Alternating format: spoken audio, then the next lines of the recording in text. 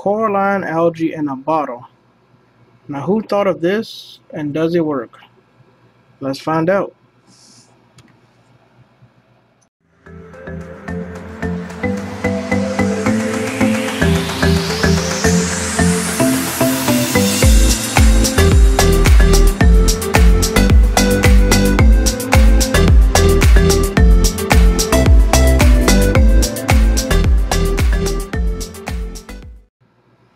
Hey, what's up YouTube? It's Romeo back with another video. This time I'm going to be talking about coralline algae in a bottle. Now, why would you want coralline algae? Well, a lot of people, a lot of reefers, they use, uh, you know, Marco Rock. I know I do. I've always used Marco Rock. Won't use anything else but Marco Rocks. I mean, it's clean and, you know, it's, it's just, just great. It's great for aquascaping. Um, there's also the KRC base rock, which I find super dense. I mean, you can that rock is just too dense. So if anybody uses Marco Rock, they know that it's stark white, especially when you put it in the tank for the first time and the lights come on. I mean, the, the rock is just bright. Um, even over time, you know, it, it, gets, you know, the algae covers it. Then you get the shade of green. Now your rocks are green. A lot of people say that's coralline algae, but no. When when your rocks are green, with I mean not like with green hair algae, just green. That means they're ready for coralline algae. Coralline algae sticks to, you know, that green rock, but just great. I don't know why. And uh, so a lot of people say, well, just get you know a piece of live rock yeah, but look how long it's going to take for that them spores of that coralline algae to come off of that live rock and populate your whole tank. Then they say, well, get a piece of, uh, you know, a snail shell or a crab shell with some coralline out. I mean, to each his own, but I'd rather go this route. Um, so I reached out to Arc Reef, which is short for Atlantic Reef Conservation. They originally started with the pink helix coralline algae. This is the original. It contains seven strains of uh, purple coralline algae. Um, so, like I said, this coralline algae in the bottle also contains live nitrifying bacteria.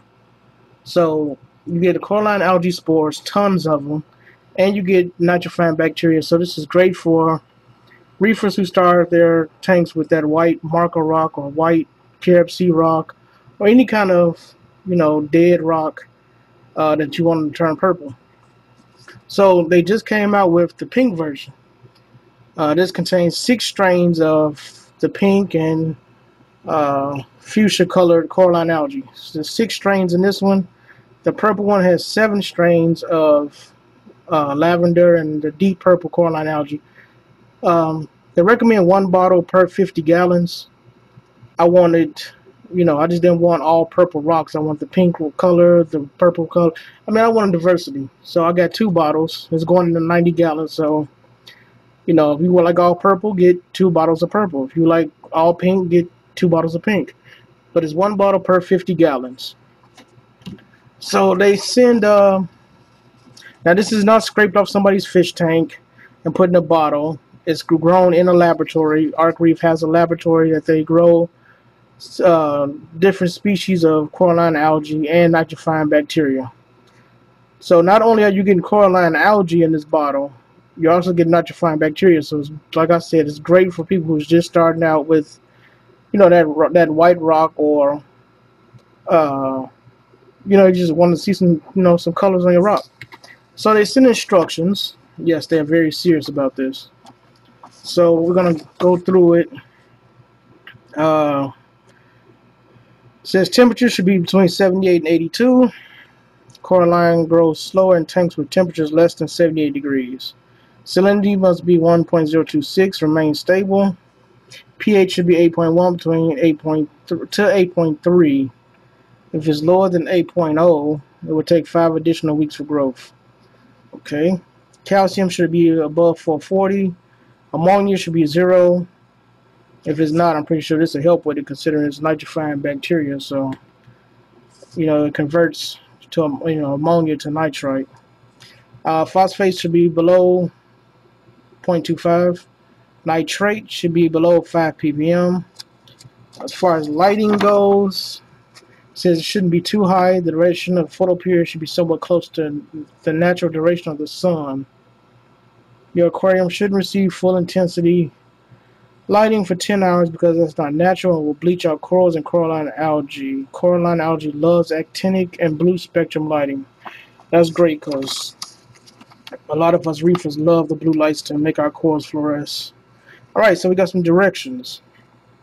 Uh, remove your filter sock, turn off your canister filter, turn off your protein skimmer and UV sterilizer, but leave the power heads on for circulation. Okay, that was understandable because the canister filter or filter sock would filter out the spores. Protein skimmer would filter out the spores. And UV sterilizer would kill the nitrifying bacteria, I guess. Okay. Uh, shake bottle vigorously as algae spores will start to adhere to the inner walls of the bottle during shipping. And that I believe because the bottle is plastic and if you know anything about coralline algae, it loves plastic. The overflow box is usually the first place that gets covered with coralline algae. Then the pumps. Uh, anything plastic, coralline algae loves it.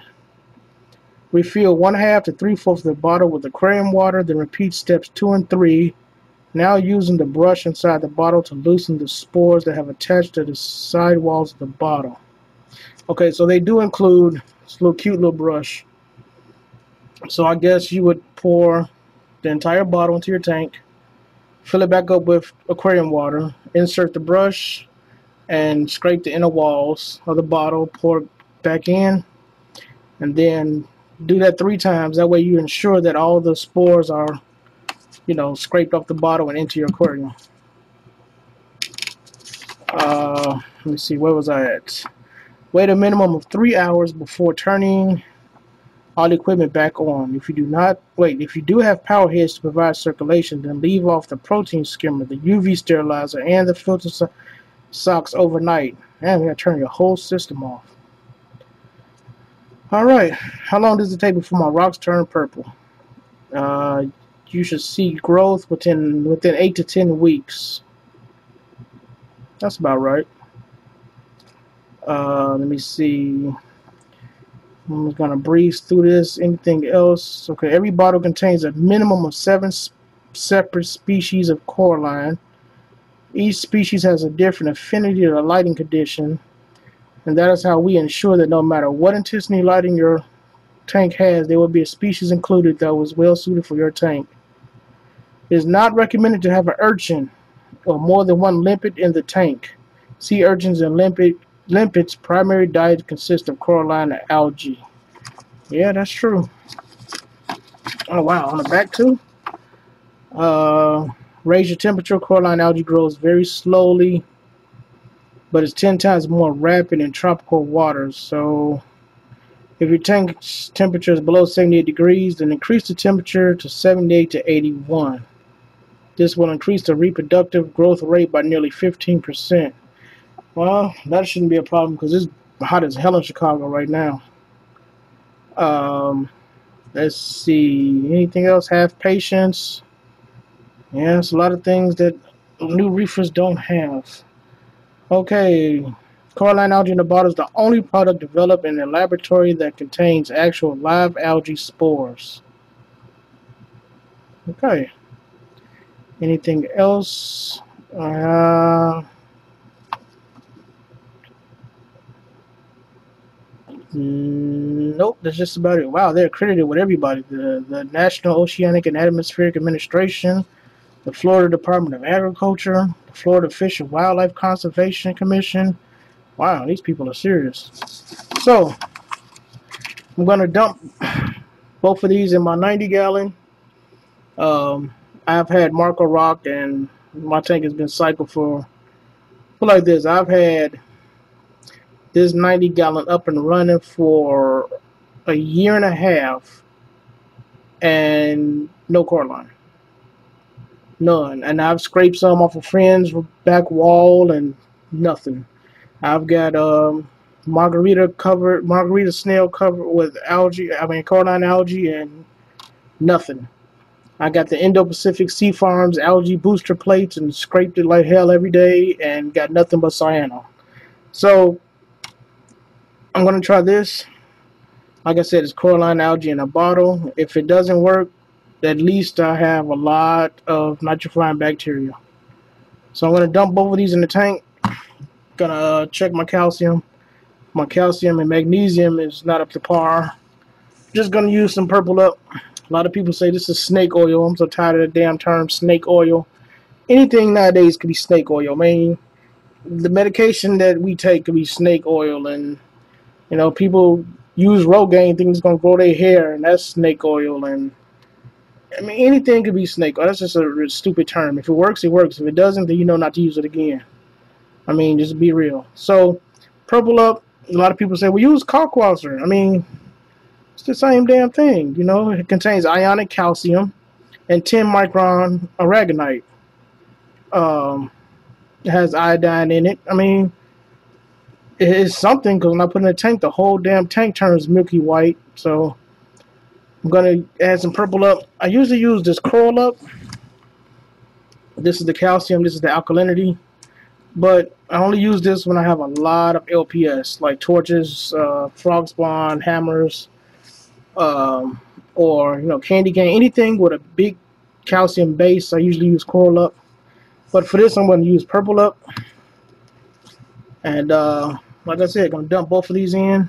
Let's see, is there ingredients on here? Uh, let me see. Unique 2-in-1 formula contains live coralline algae spores and active nitrifying probiotic bacteria. Introduces multiple strains and color variations of coralline algae these highly epiphytic strains will soon outcompete other nuisance algae and diatoms. Uh, used when starting a new aquarium and to boost the color and diversity of existing rock. Alright, one bottle is good for 50 gallons. Best used before 8-18-20. If I'm not mistaken, once you place your order, the next day it's bottled and the same day it's shipped out. It doesn't sit on the shelf. It's bottled that day and it's shipped that day. So they give you 14 days after the bottle date, bottled date to use it. Um, let's see if there's any ingredients on here. I know this sounds crazy because you don't eat it, but oh, ingredients: purified seawater, lab cultured coralline algae spores, nitrifying marine bacteria, heterotrophic, autotrophic, and uh, some other kind of trophic calcium carbonate, potassium carbonate ion buffers. So I'm not going to make this video much longer. It's already 12 minutes. I'm going to add this and then in a couple of weeks I'm going to update. I'm going to take some pictures and videos of the rock the way it is now and uh, going to update you guys. So off to the races. Thank you for watching. Like, comment, subscribe, and happy reefing.